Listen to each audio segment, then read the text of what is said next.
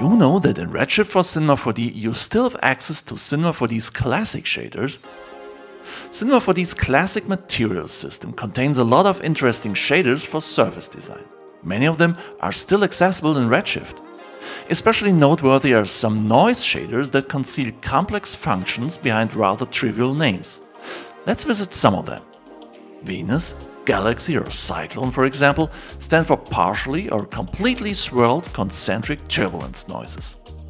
Sunburst is the only option for radial concentric noise in Cinema 4D and Redshift. Flame and Fire stand for tapered or vertically distorted turbulence noise.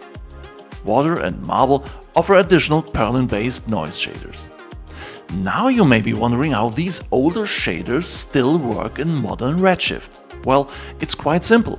These shaders can be integrated into Redshift via the so-called C4D shader node, but only in the older Xpresso-like representation of Redshift materials, the so-called shader graph.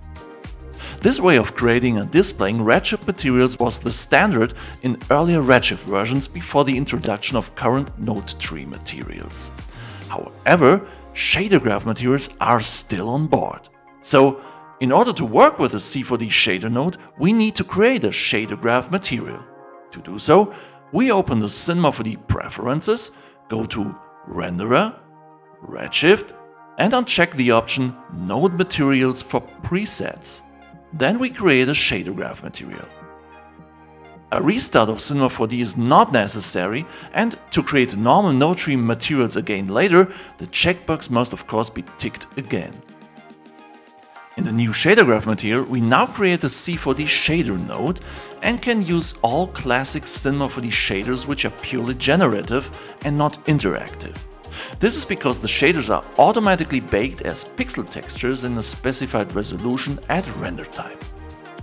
We therefore have to let go of luminous, proximal and the like, as well as animated shader effects. But beside that, the C4D shader node provides access to the treasures of good old classic C4D shaders. However, there's a little trick that allows shader graph materials to find their way home into modern node tree materials, the so-called reference node. The reference node references complete materials via drag and drop and is also compatible with the older shader graph materials. It uses the Source drop-down menu to optionally evaluate three aspects that are present at the output node of the reference material surface, displacement, or environment. We are mostly interested in the surface output. Let's take a look at an example. For the metal of this brake disc, I used a shader graph material with a C4D shader node to utilize a swirled noise provided by the classic Galaxy shader. In the final node tree material, I then integrated this shader graph material via a reference node. So even in modern node tree materials, you still have access to the treasures of classic C4D shaders. Please have a look at the finished project via the link in the video description. If you like this video, press the subscribe button and don't miss the next episode of Did You Know Redshift for 4D every swirly Wednesday on this channel.